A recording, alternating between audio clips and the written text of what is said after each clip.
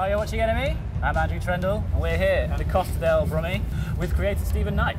How is it today walking around your, your vision? And that sounds a bit pretentious, but hmm. walking around your baby, that sounds even worse. Walking around your creation. your show. And sharing it with people. It's great. I mean, I love it. I've always been impressed from the first series. It began sort of episode three of series one, where fans started to do fan art, and a lot of people have had tattoos and they've decorated their trucks and stuff.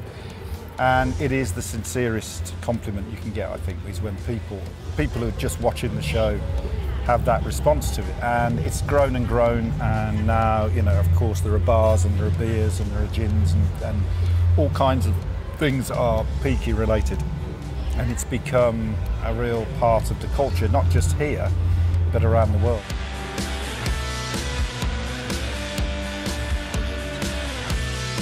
Was your mission statement when it was decided this was going to happen?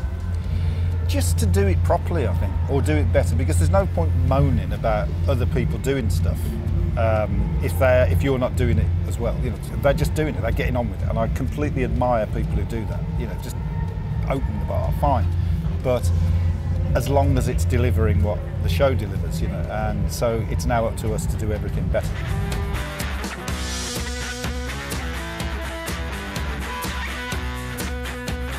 You ever go to any of the knockoff Peaky festivals? I never went. No, I mean, there's one. The Black Country Museum one is great. Apparently, I know people who've been, and that was really good. But it was other ones weren't so good, and um, it was because of that we felt we should start to do it ourselves. I mean, I've felt this for a long time. I set up the clothing company um, just because I just wanted to do some good quality stuff for people instead of people just buying rip-off things. Uh, and the festival is similar to that. We're, we're really starting this autumn to, to merchandise the show, and I think there's nothing wrong with that. Um, and this, eh, the way it's shaping up, is going to be fantastic. So yeah, I mean, we want to do. I mean, next year we want to do Birmingham and Boston, Yeah. uh, and possibly London as well. But we want this to become a regular thing.